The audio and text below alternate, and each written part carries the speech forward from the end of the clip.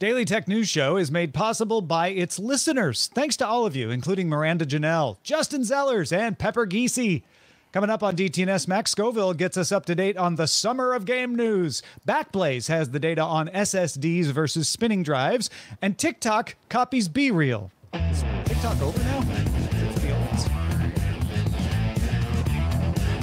This is the Daily Tech News for Thursday, September 15th, the Ides of September 2022. In Los Angeles, I'm Tom Merritt. And from Studio Redwood, I'm Sarah Lane. I'm the show's producer, Roger Chang. And joining us, senior writer and host at IGN, Max Scoville. Welcome back. Howdy. Thanks for having me. Good to have you, man. Uh, did you survive the Ethereum merge?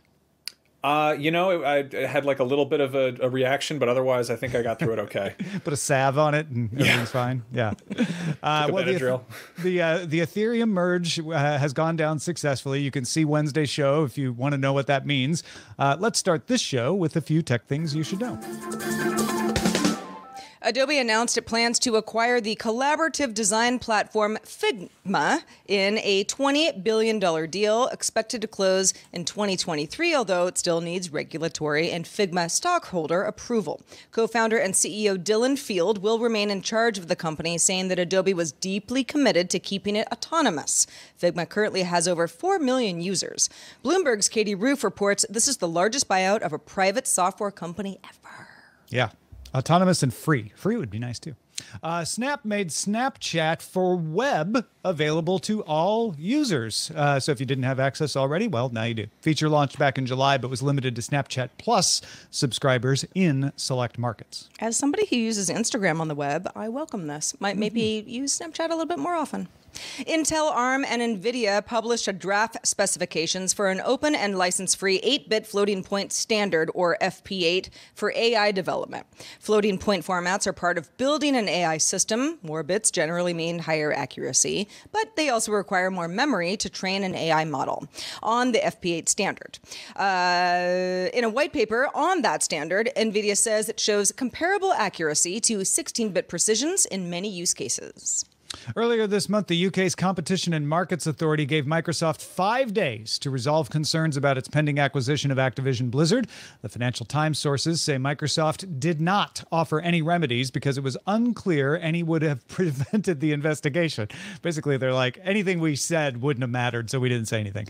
Uh, the CMA is now expected to begin an in depth phase two investigation of the deal. Microsoft also faces an in depth investigation in the European Union, and the company is going to file its case there formally in the coming weeks. Microsoft still hopes to close the deal by June next year. Good luck with that. Uh, as to what conditions it might have to agree to, Sony has some ideas. Uh, Sony would like guarantees that it will have access to all Activision Blizzard games on equal terms to everybody else in perpetuity. Uh, that's a lot to ask, but Microsoft has said it wants, quote, people to have more access to games, not less. So maybe there's a middle ground. In its latest ruling, Meta's oversight board criticized the company's automated moderation tools. This stemmed from a political cartoon of a Colombian police officer beating a man with batons. Meta added the image to its media matching service database, meaning that it would automatically be taken down whenever posted. 250, 215 people appealed different removals, with 98% of appeals deemed successful. However, Meta didn't remove the image from the database until the board took up this case. The board called for a more responsive system that would trigger a review of the media matching service when an image was successfully appealed. It asked Meta to publish error rates for content mistakenly included in the database.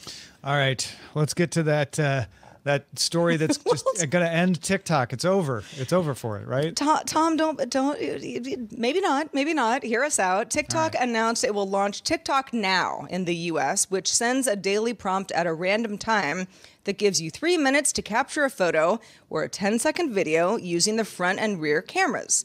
You might say, Eh, doesn't this sound a lot like Be Real? And you would be right. It's because that's exactly what it does. Right down to the alert that uses a lightning emoji at either end instead of the alert emojis that Be Real uses. So, pretty much a ripoff here. A mock up shows a dedicated Now tab where the Friends tab is. And TikTok says markets outside the US may get time to Now as a separate app. The default setting will only be to let friends, that's people that you follow who also follow you, so, you know, It's a two way street. See these posts at this time. If you're over 18, you can change that and share with the Explore feed so other people can see it as well.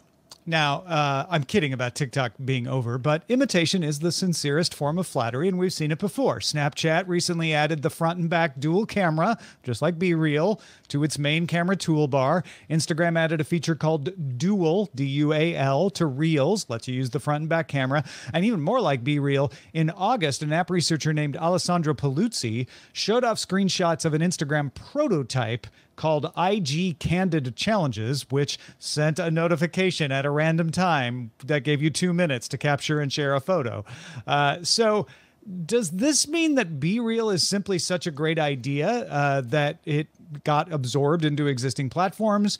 Could it be the next Snapchat? Which Instagram also tried to copy several years ago and kind of legitimized uh, with stories? Or is TikTok simply trying to catch up and so it's hurting for ideas, copying newer apps. Uh, what does it all mean, Sarah? Well, uh, good question. I think that um, to use the Instagram versus Snapchat um, example, Instagram has been pretty successful there. Uh, Snapchat certainly has lots of users still, but many Instagram Stories users are former Snapchat folks who said, "Well, everybody was on Instagram anyway, and it was the same thing more or less, so I'm just there now." Um, in fact, it's part of the most um, the part of uh, Instagram that I feel many of my friends uh, spend time on the most, even though even though I don't. Uh, Be Real, I'm not a I'm not a Be Real user currently. Uh, Max, I'm not sure if you are, but I know that it is definitely the new hotness, and mm-hmm. it just makes sense that any company, especially TikTok, which is still kind of its new hotness, would want to use those features and and and and fold them into their own platform. Yeah, I mean, I think it's smart because obviously TikTok has a huge, you know, huge wealth of users to pull from, and if they add a feature that's not too much of a lift to kind of, you know, put that there and give them give their users the option to use it, that's going to prevent them from moving on to whatever the hot new thing is. And I, you know, it's probably smart to do that now rather than to try to have to, you know, play catch up later. Uh, I mean, we just talked about how Snapchat adding web support that feels a lot like they're trying to catch up with TikTok because I see so many TikToks posted on like you know on a browser. Yeah, yeah. I mean, most of what I absorb on TikTok is on the web, just because I like web interfaces. We talked about this on GDI yesterday. It's like, give me a web interface. I will mm-hmm. use this more. I I think the question is whether Be Real is Meerkat or Snapchat and TikTok, right? Instagram uh, put in stories, which actually did okay, uh, imitating Snapchat. Didn't run Snapchat out of business though, uh, and Reels, which imitates TikTok. And jury's still out on. Some people think Reels is is a flop, uh, but it certainly didn't hurt TikTok. Whereas Meerkat uh, was taken on by Periscope, and Twitter mm-hmm. bought Periscope, and nobody remembers Meerkat anymore. Uh, so is Be Real that thing that is quickly spiking right now, but will fade away because it's just a feature, not a business? Uh, or is it going to be more like Snapchat where it expands and finds other things uh, that it's good for? I don't know that I have the answer. I'm a little skeptical that Be Real can do anything else without getting its user base upset because it's very much about being in the moment, being real, and and not having influencers, et cetera, involved. It's a cool idea, but it feels kind of antithetical to what makes social media you know, popular. Mm-hmm. Yeah, like there's so much of that that is sort of this, you know, voyeurism and exp- exhibitionism of being like, oh, like a, let me show you my best side. Yeah, yeah. I feel that like said, though, Be Real like is, I mean, it is has had a huge uptick um, in in in its user base over a very short period of time, to the point where a lot of folks ask me, Sarah, have you heard of Be Real? And I'm like, yeah, yeah, it's it's okay. You got to get on it's it. Defi- it's a- it's, it's definitely not, reaching my non-technical friends at this point. It's easy. It's easy to do. Some people, my, my wife, it, she continues to use it, but she complains every time. She's like, ah, I don't have anything good to take a picture of right now. I'm like, mm, it's kind of the point, you know. It's kind of the point because it's real life. I think um, we've seen an interesting sort of rise of these kind of page a day calendar apps. Uh-huh. Like like Wordle is very much like that. Um, yeah. I play Framed, which is like the movie version of Wordle. Um, and it's just Ooh, it's it's that, like that it's great. It shows like a screen cap of a movie, and you have to guess what it is. Oh, that's kind great. yeah. It's really fun. But I mean, it's that it's that you know little little daily routine thing, and I think there's mm-hmm. something much more digestible about like let me snap a photo of whatever it is I'm doing. And the whole emphasis is on it not being staged and like perfectly manicured. It's kind of like, let's just let me just get this out of the way and then move on with my day. I Yeah, think and I that's, don't have that's to a keep good way. doing it It's like a good way to put it. It's like I am a participant in this fun thing that a lot of other people are participating in, but no one's better than anybody else. You can't really try harder. You just participate. and it's and it's low it's it's a low ask just do it once then you're That's done right. You don't have to keep doing it. Like you don't get pulled in like the tiktok algorithm or twitter et cetera. Yeah. All right let's talk hard drives Let's do it. Backblaze is one of the biggest cloud backup providers for folks in the world. And because of that, the company is very concerned with reliability, especially storage reliability, regularly publishing findings from its data center on which hard drives last the longest, which hard drives perform the best, and the latest report comes uh, compares rather solid solid state drives to spinning hard drives. So let's call them SSDs and HDDs. Backblaze now has five years of data on both. They have more than that on HDDs, but uh, unfortunately, Black Backblaze doesn't have data on a lot of brands. Uh, they haven't used many Western Digital or SanDisk SSDs. They haven't used any Samsung SSDs, or at least reported little or no data on those. The bulk of their data is coming from Crucial and Micron, Seagate, a lot of Seagate models, and Dell. Uh, meaning it's a good comparison overall of SSD and HDD, but less useful at telling us which manufacturers make the most reliable of those drives, which is something it's very useful for on HDDs. Uh, however, it's worth pointing out the Dell Boss VD solid state drive uh, has zero fails and 161,508 drive days. That means it has enough data to give Backblaze some confidence that that particular stat is meaningful. Everything else is either not doing as well or doesn't have enough stats to have a high confidence interval. Yeah, since Back, Backblaze only uses SSDs as boot drives, it only compared them to HDDs that it uses as boot drives as well. So, you know, not exactly the same going on here, but these boot drive. Boof drives. They're not boof, they're boot. Uh, re- read, write, and delete data, including temp files and log files, among others. So they don't just boot up and then sit idly. Also, keep in mind that Backblaze has eight years of HDD data, after which presumably they retire a drive. Just, you know, it goes on the back burner, but only five years max of SSDs at this point. HDDs and SSDs track pretty closely in their data through the first three years. Uh, the HDDs have a slightly higher failure percentage, about two thirds of a percentage point higher. It's not much. Year four starts to see a wider gap. SSD failures jump 0.26%, while HDDs rise 0.48%. So that's almost double the rate of failure in year four. It's still a small amount of failure. Year five is where the difference really appears, and this is the first year that they can compare year five. SSD failures fall slightly from 1.05% to 0.92%. Statistically, you can call that even, though it's pretty close, while HDDs rise from 1.83% to 3.55%. So hard drives really start to have a failure rate in year five, whereas SSDs don't. Uh, the failure rate rises steeply for HDDs 5.23% in year six, 6.26% in year seven. The question now is what will we see next year? Will the SSDs stay on their almost flat curve, or are they finally going to hit the wall and fail at higher rates? Uh, if it doesn't happen next year, which year might that happen? But this is good data to show that solid state drives very solid, at least through five years of use. Uh, and these are consumer drives being put to use in a you know data center situation. Max, does this change your hard drive buying behavior at all?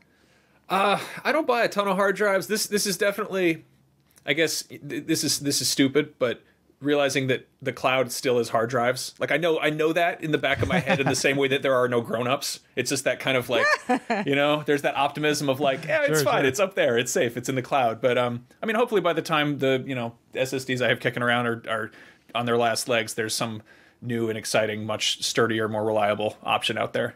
Yeah, like the cloud. Wait, That's a good point, though. I mean, I, I think somebody might have listened to the story and been like, well, but I don't know. My hard drive was just built into the last laptop that I bought. You know, like, what does this mean to me? Like, what can I do about it? And turns out, yeah, various types of hard drives uh, power lots of things that we, you know, we store things in, we pay money for, and you know, we we all will benefit from them uh, working as well as possible. Yeah. Like real clouds are made up of, of drops of water. Uh, the the internet's cloud is made up of other people's hard drives. So keep that in mind. Like sands and through the hourglass. Back up. Roger wanted us to remind everyone, as always, uh, back up your data because if your hard drive fails, you want a copy of it. So. I learned a valuable lesson about hard drives in high school. I had a uh, Creative Labs Zen Nomad Extra MP3 player. Ah. Uh, which I love because it was like an iPod, except it had a removable battery, so you could, you know, replace the battery once it ran out. Um, but that didn't affect it if somebody jumped on your back and you dropped it and fried the hard drive and oh. lost all of your music. And mm. then I don't know. From that point forward, I feel like I've had this just very ephemeral approach to to data and just been like, it's all going to go away someday. Nothing lasts. It doesn't matter. Lasts. Yeah, put yeah. it in the cloud. Never fall in love uh, with your data. Uh, folks, if you have a thought about a backup plan for Max or anybody else, uh, send us an email. Email address here is feedback at dailytechnewsshow.com. Now, we may not have had an E3 again this year, but there was plenty of gaming news this summer. Uh, Gamescom happened in Germany. Sony and, and Nintendo uh, just had announcements. The Tokyo Game Show is starting right now. Uh, Max, help us get caught up on the biggest news. What do we got? Sure. So, like you said, E3 didn't happen, but Gamescom did, which is a big, huge triumphant return. I got I got to go out there and, and um, cover it live myself uh, out in Cologne, Germany. Uh, a bunch of the major kind of players actually skipped it. Um, Sony and Nintendo and Activision and EA, uh, none of them showed up, but Xbox was there. There were a bunch of kind of um, I don't want to say smaller smaller outlets, but not like those big, huge monolithic mm-hmm. uh, publishers. And there were some. It was kind of kind of nice because I think we're we're just now sort of seeing the effects of uh, COVID on on development, and a lot of things have been pushed. And like t- next year is going to be phenomenal for games. This fall is like a little bit weird because a bunch of the sort of the big, huge things that people were looking forward to got delayed. Uh, and so it's this kind of I don't know. It's it's the the best of the rest um, coming out this fall. And I think as such, we've got a lot of uh, like like you said, uh, Sony just did sort of their fall look ahead, um, showing off God of War Ragnarok, which is their big fall release. Uh, Nintendo gave us a release date for the Legend of Zelda Breath of the Wild 2, which is officially called Tears of the Kingdom, which is uh, exciting. But um, yeah, there's a lot of I mean, there's a lot of gaming stuff to talk about. The I, I, would say the biggest sort of surprise that came out of Gamescom was Dead Island 2, which was I think announced in I want to say 2014.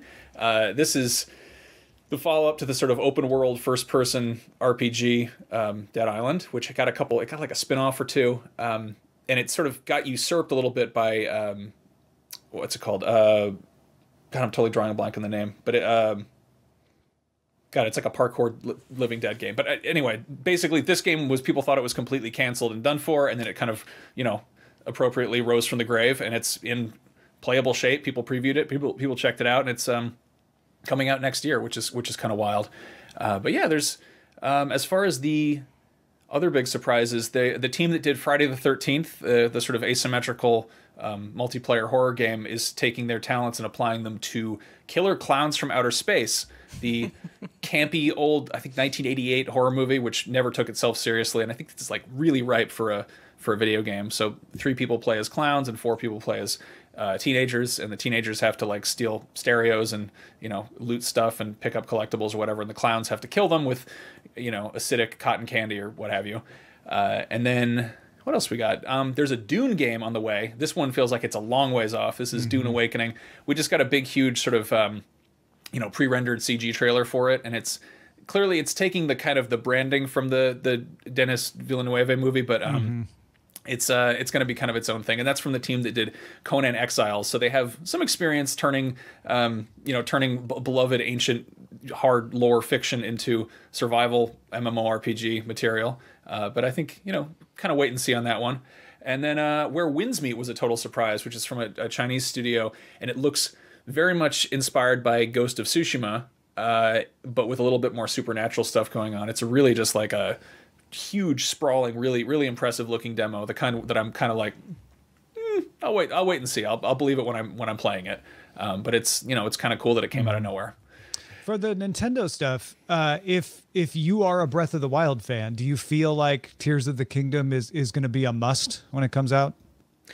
I think I'm an outlier in this. I think a, I, a lot of people are extremely excited about this. There's no there's no question in their mind because it, it looks very much like more more of the same in the best way possible. Um, I, I for one kind of love it when a Zelda comes out and has a totally new aesthetic and a new style and and sort of throws out the formula. But that's also uh, totally kind of antithetical to what a smart iterative game design is these days. If you spend so. a, if you yeah. make a massive hundred hour RPG open world, like maybe keep some of the systems around. Um, yeah, it looks like it's it's going to be sort of a more of an aerial approach. Like you're going to be um, on floating islands above above Hyrule, and there will probably be some new physics systems to to mess around with. And I mean, people got people got a lot of mileage out of that last one, so I think there'll be a lot more, a lot more to play with with this one. I, I, I know people who played it day one and are still playing it now. Yeah, just, no, it's you know. it's one of those games. Like it's yeah. it's easily like a top five all time desert island game if you have to pick one. Anything else from the Nintendo announcement? Yeah, uh, Pikmin 4 is apparently happening. The last we heard about this was in 2017, I believe, or hmm. that's when it was announced. And Miyamoto came out and said, "Great news! It's um, it's almost done." Whatever that means, but it's you know, more Pikmin. Uh, Pikmin you know, three point nine. It's almost yeah.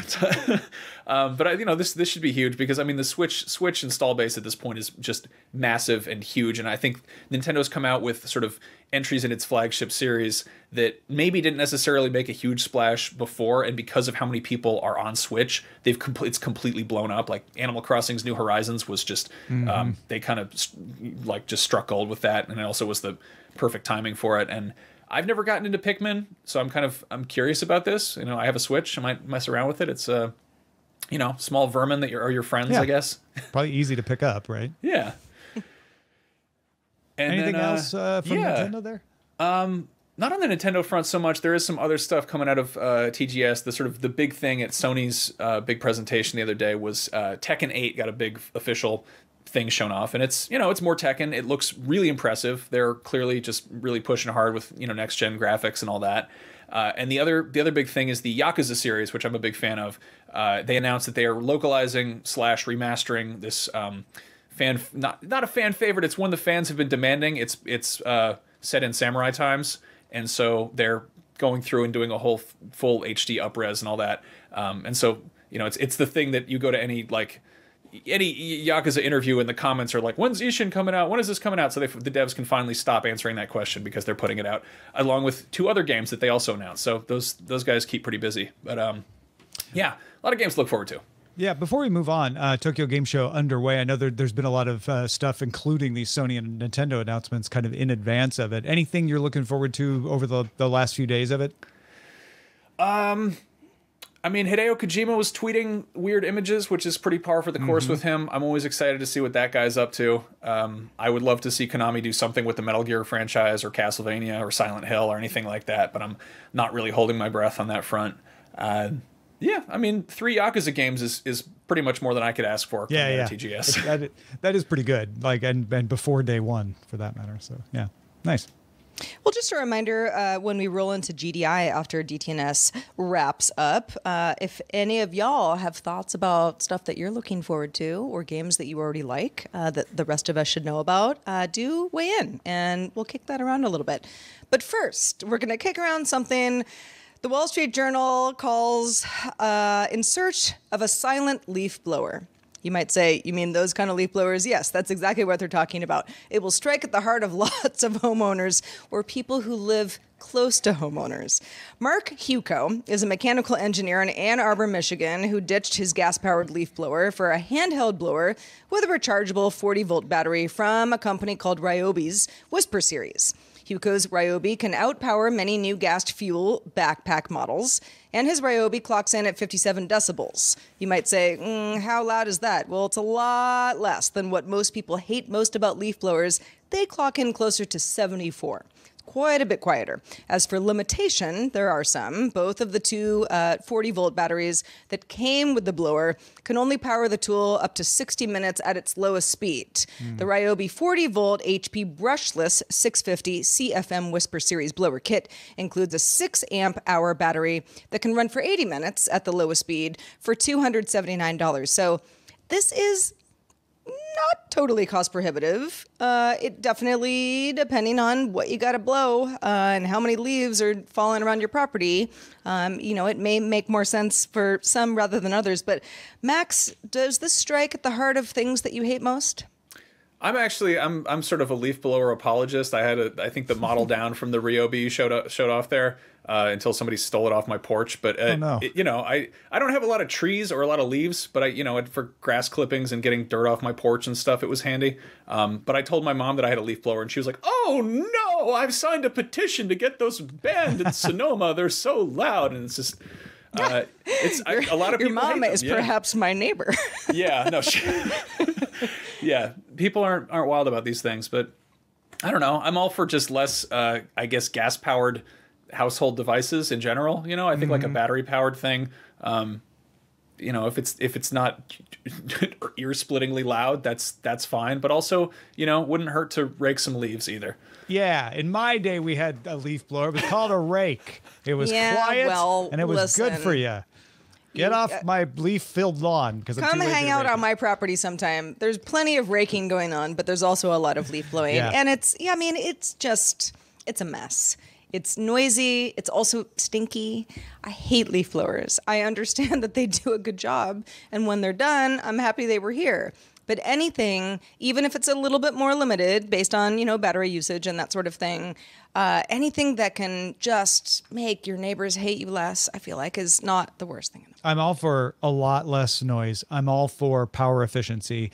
Uh, still, I hold a grudge against leaf blowers, not even just for the noise and the gas use, uh, but for the fact that they are misused often uh, to blow away things that you paid to be there, like you know mulch and pebbles uh, and things. I've I've run into that where I I've like oh why did you do that? Why did you blow over there? Like well, I don't want that to be blown away. I want that to stay there. Uh, so I don't know. I'm I'm looking forward to the teleporter day where you can just have an AI scan your lawn for leaves and then tell it like teleport those leaves to the compost area. The Uh, drone leaf blower. Can we get a, Drone, like a yard drone Roomba? comes down, drone does its thing, drone leaves. just picks the leaves, right? Yeah. Just just take the leaves. Just the leaves that we want then gone. put them one at a time just picks them up and just chop lifts them elsewhere it takes a while but Yeah, very job. small drones, each one picking up one. But but very precise. Yeah. All right, let's check out the mailbag. Let's do it. This one comes in from Paul. This is uh, in response to our our uh, conversation yesterday about folks who use cell phones versus folks who use computers, desktop computers, and how they might lie differently. Paul says, My opinion on the cause of the difference in cell pho- phones versus computers has to do with the cell phone being a more intimate device versus the computer. Cell phone is held in your hand. Computer sits on a table, dispassionately waiting for you to type on it, so that the person you're talking to on the computer is that much less of a human. Yeah, the uh, the study we talked about yesterday said that people with who communicated through laptops in the study tended to lie a lot more than people who use cell phones. Uh, and I like this. I like this idea, the cell phone feeling because it's in your hand, not sitting on a table, uh, feeling more intimate. Could be something to that. Maybe there's a feeling of, of just paranoia that comes with that because a cell phone is constantly with you. There's a Yep. sort of big brother aspect to it, aside from the more Yep, yep. you know wholesome intimacy side of it. Uh, whereas, yeah, a laptop you can shut it, and that's almost like you're you know shutting your window. You're like, ah, Yeah. you can't see me now. I mean, even something like on iOS, I, I have a certain amount of people who are on Find My Friends. And, you know, I trust them. It's fine that they know where I am at all times. But they do know where I am at all times. Not on the laptop, though. So there's, you know, there's just that much of Mm-hmm. of a, uh, you know, oh, the cell phone, you can't get away with it. And e- even on if a the laptop, study- maybe so. Even if the study is using someone else's cell phone, which I assume they are, you're probably not using your own cell phone. And if you're participating in this study, it's just the familiarity, right? It's the association to that. I think there, there's something to that. Uh, finally, Adam said, I have an iPhone 13 Pro that I got earlier this year. It was a big improvement from my iPhone 8, but I never felt like it was as snappy as it should be. I installed iOS 16 when it was released this week, and my phone feels light years faster. It opens quicker with Face ID and it connects much better with my HomePod minis. I don't know if anyone else has noticed this, but I wanted to share my experience. Adam, uh, that's great. I have not Found that to be true with my iPhone 12, but it also isn't slower. So I don't know. I mean, I went from a 10 Pro, Ma- 10, 10, 10s Max. Yes, 10s Max to the 13 Pro Max. And Adam, I, I have to say, I've been, a, I felt like uh, battery life was a little lackluster. I mean, you know, if I'm charging it regularly, I'm not really running out, but it wasn't lasting a whole lot longer than the phone I had in the past that was a little long in the tooth. However, I only did install iOS 16 yesterday, so I'll, uh, I'll, I'll take a look at Keep that over the next week. Yeah. yeah. Well, thanks so much to you, Max Scoville, for being with us today. I know you've had a very busy week, so we really appreciate your time. Let folks know where they can keep up with your work. Just head over to IGN.com, YouTube.com slash IGN, the various IGN platforms. Uh, you can also find me on Twitter, Instagram as Max Scoville. Uh, yeah, we're doing all sorts of video game stuff, all sorts of entertainment stuff in general. Um, so keep an eye out. Yeah. Folks, go go to Max's stories on IGN and, and reload them so he gets good stats. Uh, t- tell him on Twitter. I get uh, I get paid per view, just so so good. go and re- rewatch. Help them, Max please. eat. and thank him on Twitter for being on the show. Max Scoville at Twitter. Indeed. Also, thanks to our brand new boss. That brand new boss's name is Albert. Albert just started backing us on Patreon. Thank you, Albert. Welcome. Albert, Albert, Al- We Albert are so gets glad to have you. Yes. Uh, speaking of patrons, please do stick around for our extended show, Good Day Internet. We talk about all the things. Uh, a lot of it has to do with the show in an expanded way. You can catch this show, though, Monday through Friday at 4 p.m. Eastern, 2000 UTC. Find out more at dailytechnewsshow.com slash live. We're back tomorrow talking Ford Mustangs. And is there a future for auto shows with Tim Stevens? If anyone would know, he would. Talk to you then. This show is part of the Frog Pants Network. Get more at frogpants.com. Diamond Club hopes you have enjoyed this program.